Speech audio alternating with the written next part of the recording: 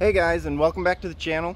Uh, I hope you guys are as excited about today as I am, uh, because as you can read by the title, I am looking at the channel's new track car.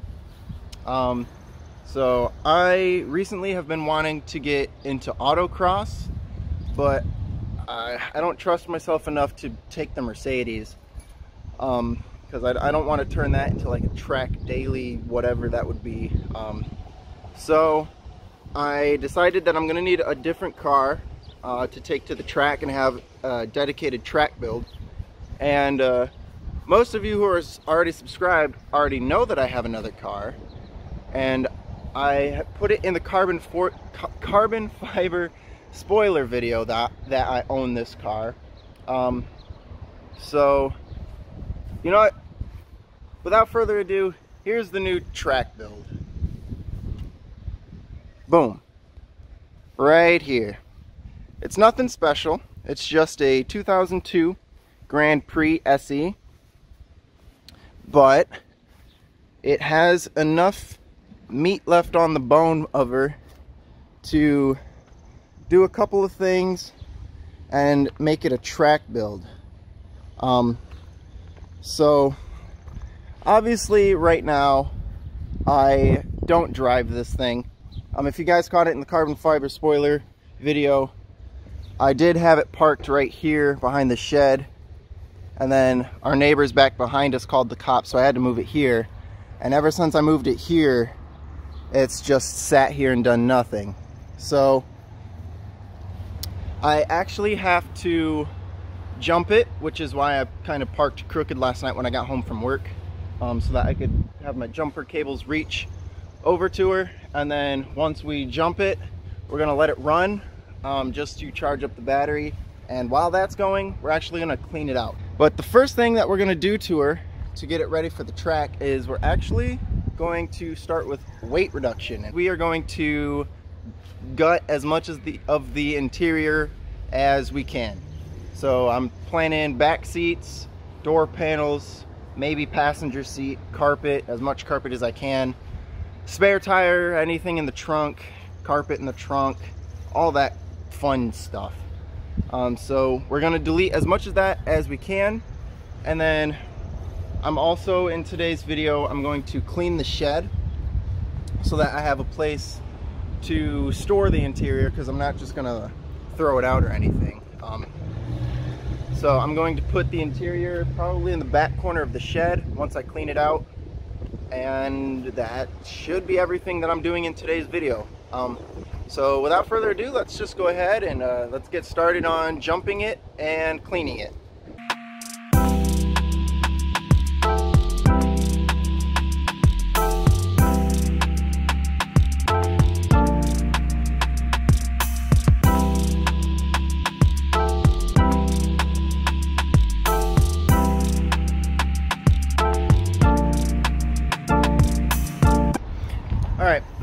So we've got everything out of the car. Well, not everything out of the car, but um, we've got it mostly cleaned up. And uh, it hasn't really been all that long, but I'm still gonna go ahead and see if she'll fire up.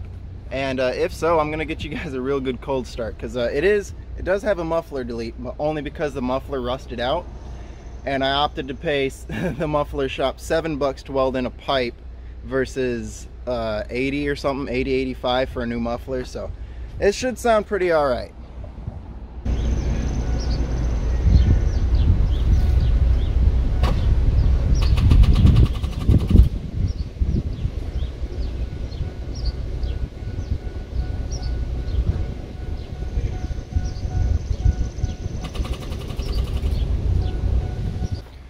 All right, so never mind about that. She is dead, dead. But uh, in the meantime, uh, I guess let me just give you a tour of the shed and why it needs cleaned out. So, first of all, we've got a couple of bikes and whatnot. Um, that we're just storing in here. This is all from us, but here, like look at the ground. Just all this crud needs swept. That's also from us here. Um, but all of this is from the previous owner. They just kind of left all this stuff here. Um, so that is why this needs cleaned. Um, I'm, I, I don't know if I'll clean that shelf or not, but, uh, I kind of, I mostly want to clean this corner so that I can keep all my interior pieces from the Grand Prix in here and, uh, not have to worry about them. So I'm going to go ahead, I probably won't time lapse it simply because everything's behind the fridge and I don't feel like moving the fridge. So, um, I'm probably just going to do it off camera, mostly to save battery life too. So, um, yeah, I'll just come back to you guys when it is done or when I'm ready to start the Grand Prix actually. That's when I'll get back to you guys.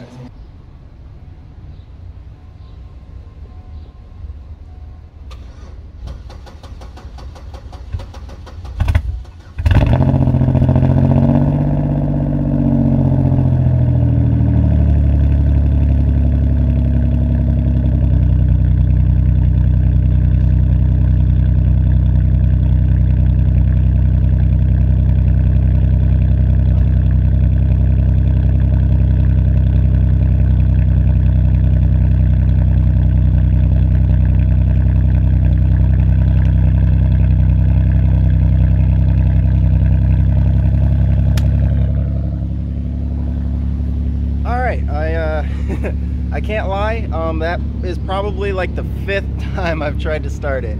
Um, that battery was, where are you going? That battery was dead. But uh, now that we actually have the car alive, I'm going to go ahead and just let it run and finish up the shed. And I guess since I was in there already, I can give you an update on how we're looking. So, we're looking a lot cleaner. Still a lot of sweeping to be done, but uh, we're looking a lot better. I'm thinking of putting the interior in this corner since that's the worst off corner and there's a shelf above it so you can't use the vertical space above it anyways. But uh, man, why am I out of breath? um, I'm not really sure what I'm gonna do next. Uh, I think I'm gonna continue on the shed and then probably get to the interior, which will be the fun part of the video. So just hang in there. Um, we'll get to the fun part eventually. Okay, so I just spent the past couple of hours uh, cleaning up the shed, and we are looking good, fellas. Uh, I didn't know that the fridge was on wheels. Um, I didn't use the dolly to move it, but uh, it, the fridge actually is on wheels, so I just scooch, scooch, scooch, scooched it into the corner, and uh, we actually have a shed that we can use now. Um, I didn't get it like 100% swept out, but it's 10, it's a hundred times better than what it was because it's, it's usable now. So I'll take that over being 100% swept out. So, oh, whoa, where are you guys going? So, um, why is it doing this? There. So now I just have to finish putting everything back in here and then we're done with the shed. Uh, I won't show you guys that, what it looks like afterwards, because um, I'm sure you guys don't even really care. Um, and then I will get into the main purpose of today's video, which is working on taking the interior out of this bad boy. So uh, let me go ahead, put all this stuff back in, and then uh, it, I'll probably just cut right to a time lapse of me taking stuff out. So uh, Oh, also, uh, I have no idea how to take any of this stuff out. I've never removed any interior pieces, so I'm just gonna kind of BS my way to success. so I'm just gonna kind of figure things out as I go. Um, so yeah, I'll just cut right to the time lapse and let you guys see what's up.